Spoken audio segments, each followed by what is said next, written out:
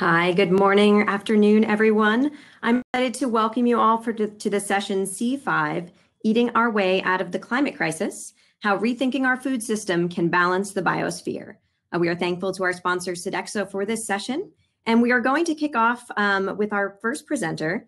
Rob Morasco is the Senior Director of Culinary, Culinary Development for Sodexo and is going to take us through the presentation we'll introduce our second speaker for the session. We should also have some time for question and answers. So if you have questions, please feel free to put them in the chat.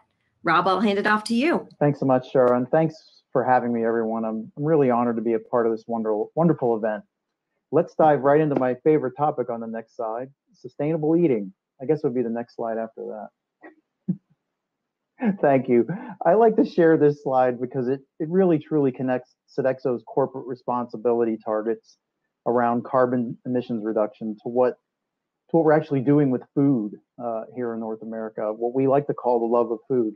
It's really all about our health, and attached to that is our planet's health. While it's certainly true that a, a lot of people, a lot of our customers across the world may have, they may eat more plant-based to improve their health, or because uh, there are animal welfare concerns. But the overarching issue really is climate. Anybody can pick up their phone right now and find out uh, a processed food, even like Impossible, cuts carbon over beef by around 90%. And we compare it to whole foods like beans by about 99%. So let's talk about sustainable eating in more detail on my next slide.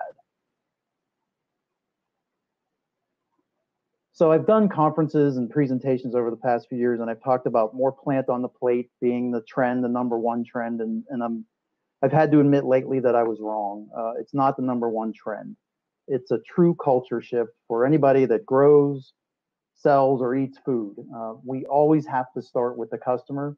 What are their needs? What are their wants? Uh, the days of a of a grilled veggie plate stashed away under the dessert section of the menu, those days are gone. Uh, plant dishes have to be what I like to call crave worthy rock stars, worthy of being at the center, the centerpiece of any menu. Uh, naming conventions are going to be critical here. Um, if you don't want to sell it, I always say go ahead and call it vegan. Nobody will buy it. Or worse yet, call it healthy and vegan. Um, that being said, innovation in this space is super critical. Let's talk about that on the next slide.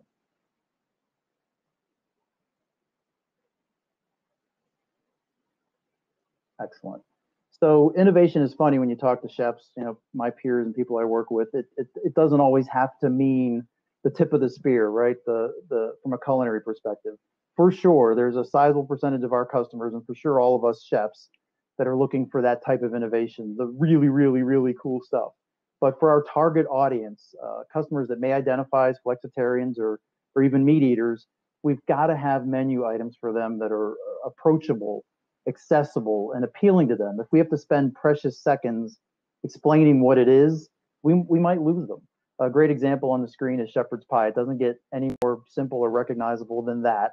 It's plant based, and we're using jackfruit as the the meat, right? Um, I always recommend getting a, getting an expert or a partner involved if, if needed. Uh, I haven't met one chef, uh, celebrity or otherwise, that would not jump at the chance to promote plant-based sustainable eating. I also can't think, frankly, of one supplier or manufacturer that's not getting into or already into the plant-based space. Um, I have a number on the screen. That's the plant-based number for Sodexo, in North America, year over year growth of entrees on the menus. We're very proud of that. Um, but for food service overall, you may or may, may not be shocked by this number, but from our friends at Datassential, we've seen overall in food service, uh, it's a big number, 2,462% year over year growth in plant based menu items in restaurants and food service. So the train, as they say, has left the station, but as we'll talk on the next slide, it's not too late to hop on board.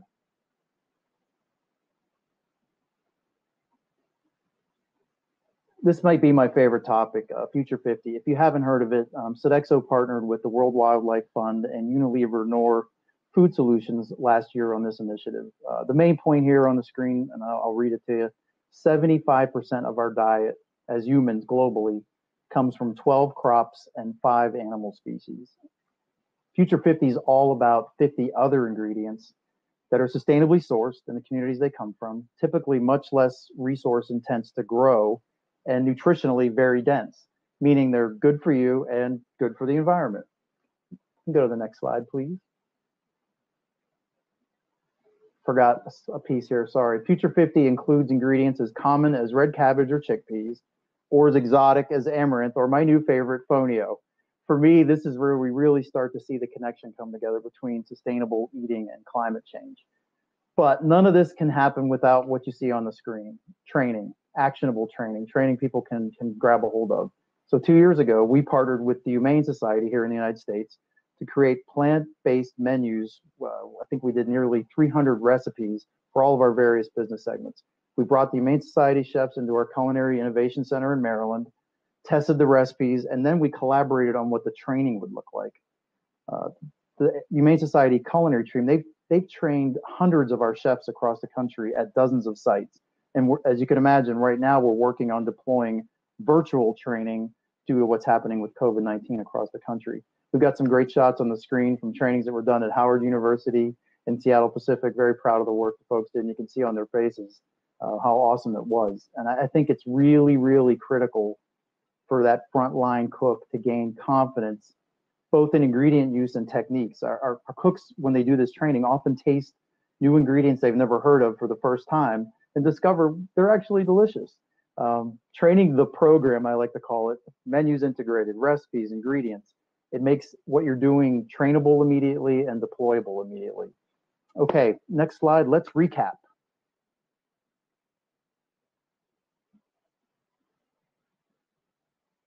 Okay.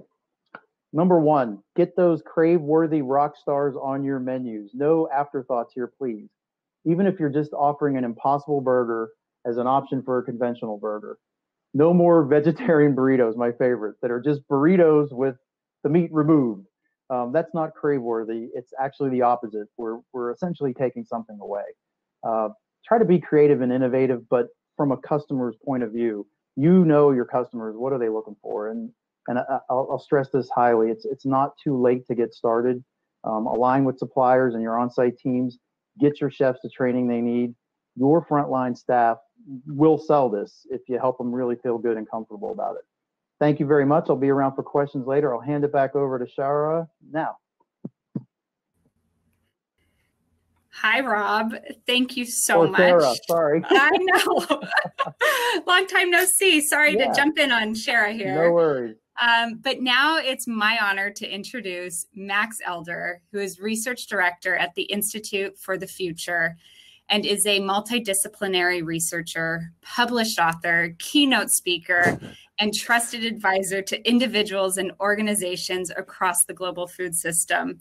Max, it's a real pleasure to have you with us today. Welcome to the stage. Thank you so much, Sarah, and thank you to the CIA for having me. I love menus of change and uh, it's such an honor to be here and it's such an honor to go after rob who talked a lot about getting menu items that are rock stars out uh, to the world. And I think Rob himself is a rock star as well. So I'm really, really excited to be here today to talk to you about some of my work at the Institute for the Future.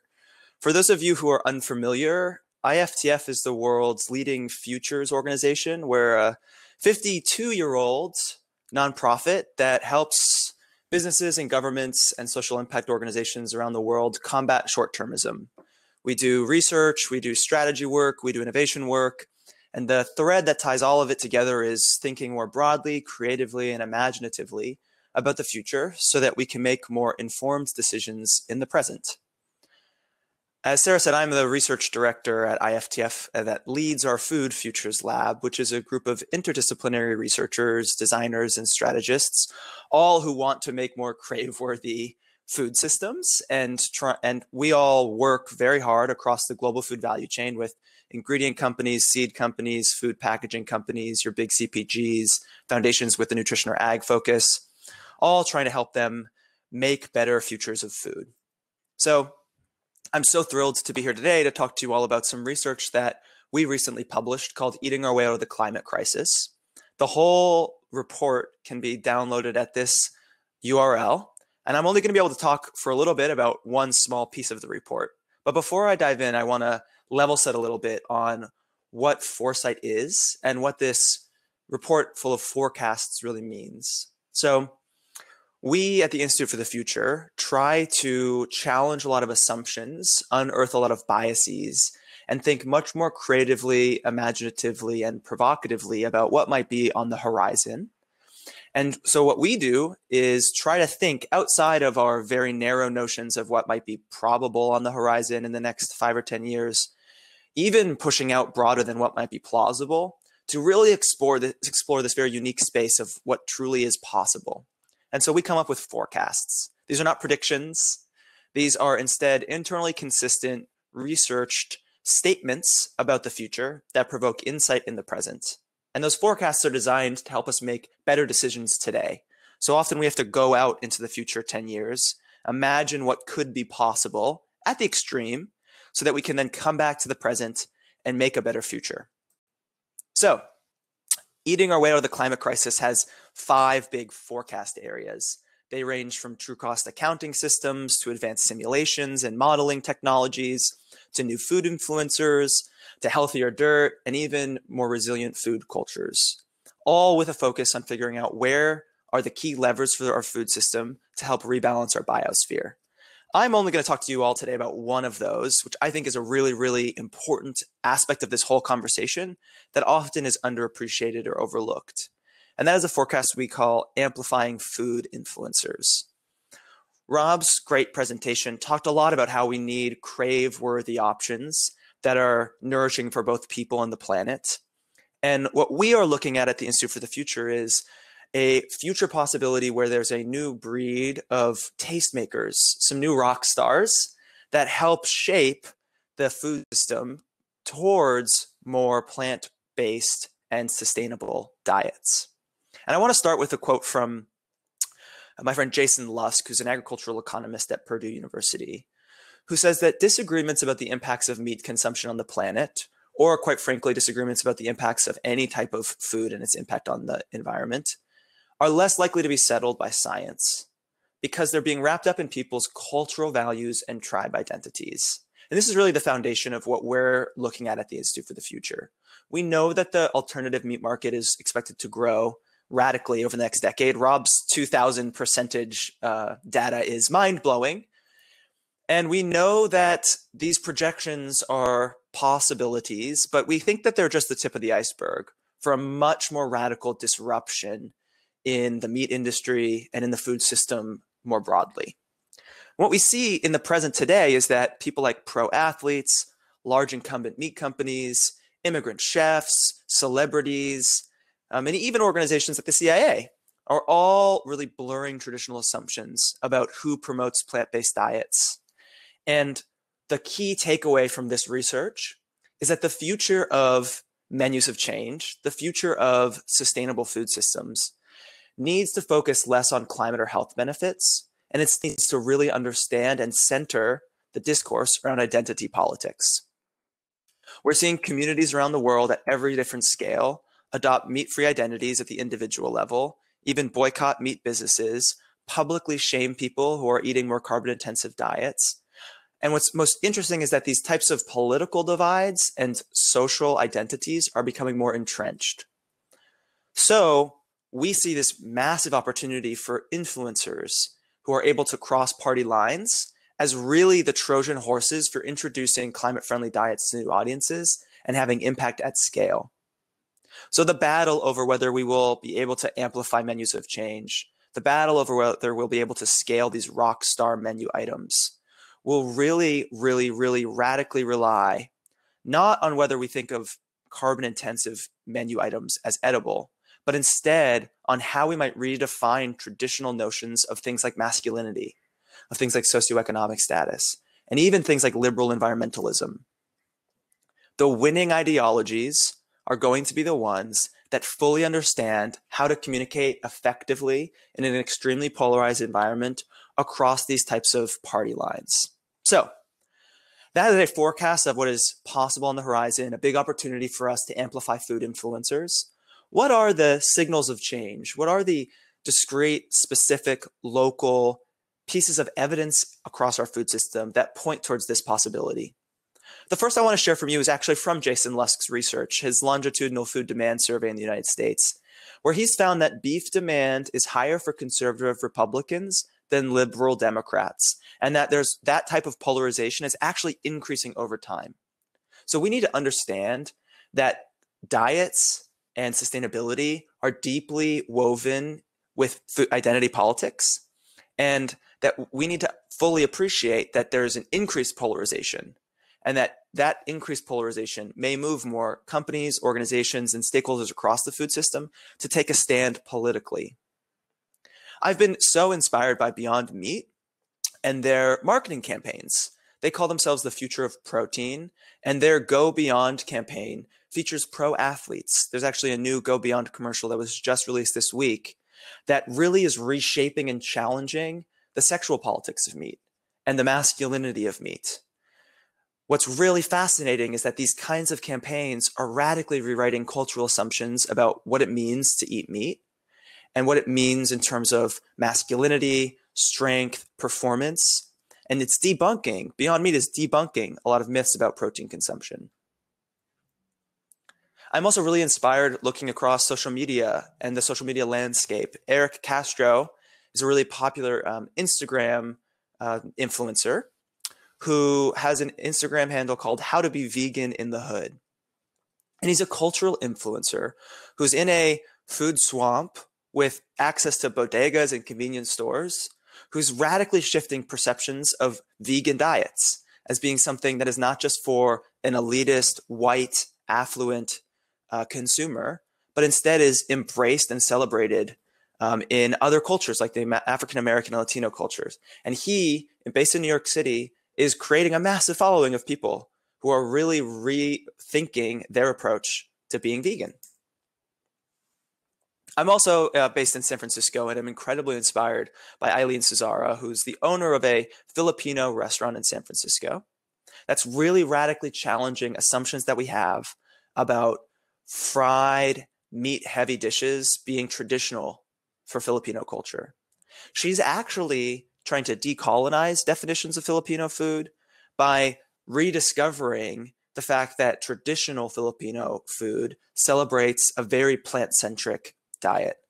And she is really focusing on creating the necessary social infrastructure to decolonize these kinds of diets and recenter them really as a menu of change. The last example that I want to share with you all comes from the US military.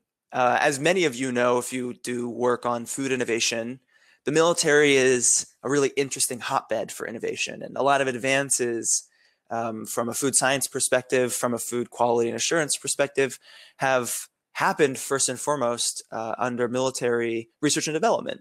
So we always look to the military to see what might happen on the horizon. And one of the biggest movements right now is that the meals ready to eat, the MREs from the military, are not plant based. The military has no plant based MRE for um, their soldiers. And a growing number of soldiers are creating a movement to pressure the Defense Logistics Agency to provide healthy, balanced, and vegan meals, making them fit for combat. There are a couple of really interesting components of this type of signal. One is it turns out that our food system is making this country not combat ready. Military is struggling to find people who are fit enough to be able to defend our country. And this is making diets a national security issue. The other really interesting thing is that soldiers are describing their switch towards more plant centric, plant friendly, and maybe even entirely plant based diets as a desire from their work. They say that they engage in so much violence in their professional life that they want to make sure that they have an opportunity to have a healthy, humane, and sustainable meal experience when they sit down to eat. So these are all a series of small scale, local examples across the food system, from the military to restaurant owners to plant based marketing campaigns to research about American food demand that point towards a future where we radically rewrite who the celebrities are, who the influencers are in our culture, and think very deeply about how these types of influencers might be amplified in new ways to be to cross party lines and to really think deeply about how the politics of diet might be shifting. So, what does this mean? What does this mean for you all? What does this mean for menus of change? And to Rob's point, what does this mean for amplifying rock stars across our food system? I have a couple of questions that I want to ask you. One is about cultural values and tribe identities. How closely are you tracking these kinds of tribe identities of your eaters, of your stakeholders? Who are the rock stars that are creating sustainable rock star dishes? Where do they have followings? And how do you engage with them? Rob talked a lot about how we need to partner with different kinds of celebrities or food service providers. How are you thinking about those partnerships? And are you thinking about the politics and the social implications of them? What cultural assumptions do you make? Do your culinary curricula make? Do your meals or menus rely upon? For example, are we making a lot of assumptions about the masculinity of meat? And if we are, are you ready to pivot if or when those types of assumptions, those types of social um, values change? And it seems like they're changing pretty radically underneath our feet today. How do you think of your protein choices, for example, as political choices? And are you ready or willing to engage in the politics of this kind of discourse? And then what niche spheres of innovation or influence, like for example, the military, are you monitoring to sense change before it spills over into the broader market? How are you watching this type of transformation? And not just watching, but how do you see yourself as someone who's creating it? Not just letting the future happen to us, but actually feeling like you are enabled, empowered, and emboldened to create a future with menus of change. I want to end with this quote from David Wallace Wells, who wrote a terrific and very scary book called The Uninhabitable Earth last year.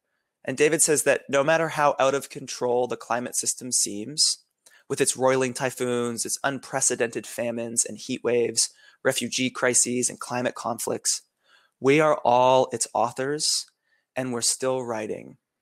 And if I were to adapt this quote for this audience, I'd say we are all its eaters and we're still eating. So it is incumbent upon us to identify the new types of food influencers that are emerging across the food system and think about how we might amplify them to truly create menus of change. This is one small part of a much larger body of research on how we might eat our way out of the climate crisis. I would really encourage you all to download the report at this URL and to read the other forecasts, these other statements of possibility. And please email me, tweet at me, talk to me about this because I think there's nothing more important today than really rethinking how we approach food systems and how we scale menus of change. So, with that, thank you, and I'll turn it back over to Sarah. Max, thank you so much for bringing us all on this journey today. And to continue this conversation, I'm going to bring Rob back on stage to join us. Hi, Rob. Hello. Nice job, Max. That was great. Thank you. Now, I'm sure many of you in our audience have questions for our presenters today. So please feel free to type those into the chat and I will make sure to weave them into our conversation. And as those questions come in, Max, I'm going to start off with a question to you. And so often we think about sustainability and food systems in terms of new product formulations and ingredient innovations to have an impact on climate. But often we fail, and admittedly, myself included, to fully understand or appreciate the social context around these systems that you spoke to earlier. Can you help us further understand about how these social norms around climate change and food choices influence us? Mm, yeah, that's a very hard question. And I, maybe I'll tie it back to Rob's point about craveability, because I think, Rob, you're absolutely right. Dishes, ingredients, menus need to be craveable. Uh, and um, having a burrito without the meat doesn't do the trick. And so, right on. but then, but here's the, but it begs the question what is craveable? And it turns out that craveability is not some abstract idea about ingredients or about flavor. It is a social construct. And if you look if you look at our history, notions of what is craveable, notions of what is edible have shifted. And so when we try to think about how we might scale craveability, we need to fully appreciate that craveability is socially defined. There are new influencers who are reshaping those definitions. And we might have to think and partner and engage in unusual parts of the food system or even outside of the food system to engineer craveability and back into the diets that we want, into the menus that we want. So, one answer is we need to think beyond uh, the limits of ingredients or products or menu design to think about the social institutions and the social containers that support them. And that's a much more thorny and challenging, I think, conversation than than a lot of people have in the food system. I'm gonna have to add that to my craveability discussion now. Can you write that down? yeah, absolutely. That's amazing. And Rob, I'm going to have to take that word from you and use it more often. I absolutely love it, craveability. Um, and that brings me to another point. So, as a chef, Rob, do you see the industry growing further with manufactured plant based center of plate foods like the Beyond Burger that we talked about or Impossible? Or do you think we're moving forward with more chef driven and ingredient based innovations? So that, that's that's a really great question. I, I I think most chefs, if you if you ask them, they're like, I don't like the the the burger that's not a burger. It should be food, right? I I, don't necessarily disagree with that, but here's the thing. I, I think when we talk about people that identify as flexitarians or meat eaters that may occasionally dip into the plant-based world, a thing like a, a plant-based burger or a plant-based chicken tender or a fish fillet, right? That's not fish. They're they're they're craving that thing that they're eating less of or not at all.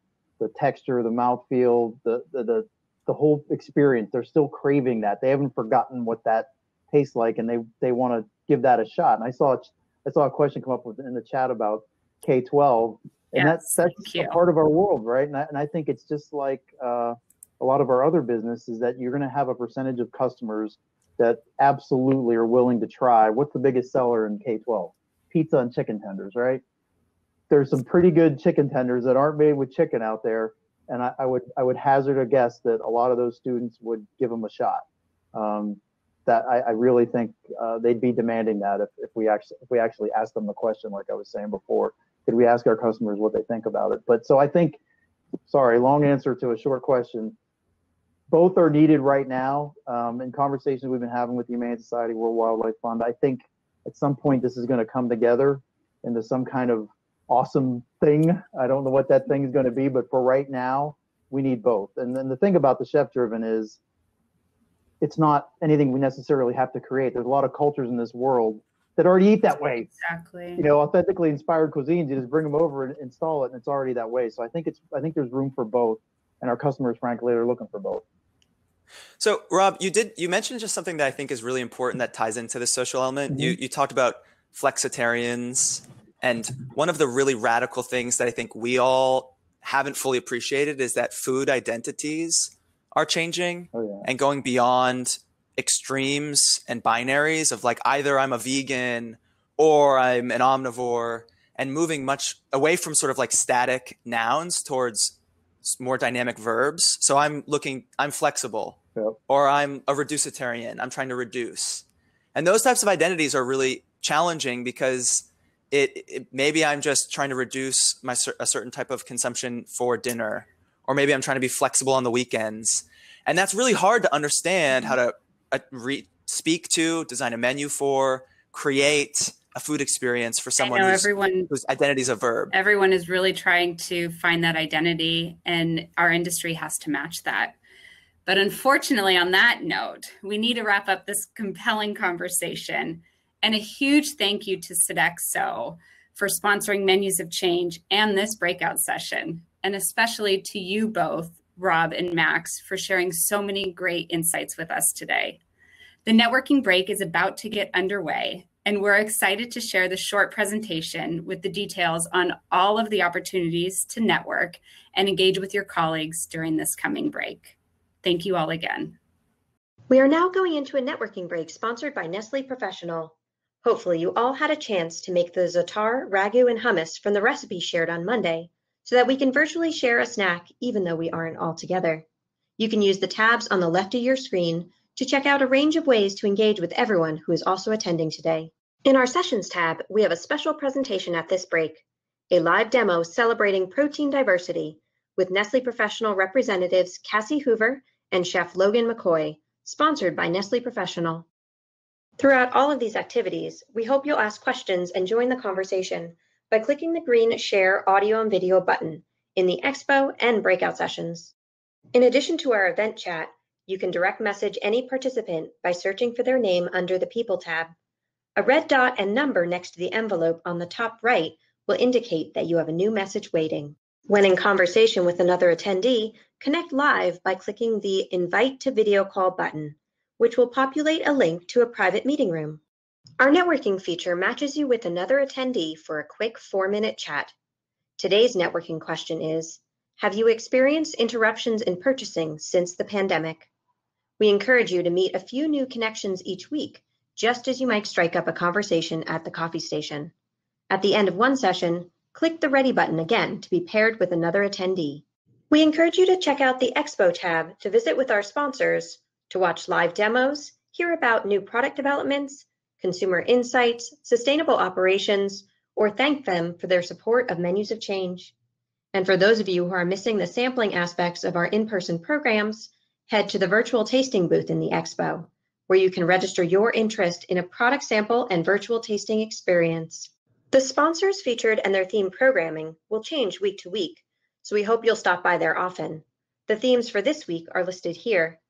Lastly, don't forget that you are entered in a raffle for each activity you engage in, and if you attend and participate in all six weeks, you'll have a chance to win free registration and travel to next year's Menus of Change Leadership Summit in Hyde Park, New York. We'll be resuming programming on the stage tab at 11:35 a.m. Pacific, 2:35 p.m. Eastern. So go enjoy networking and the expo until then.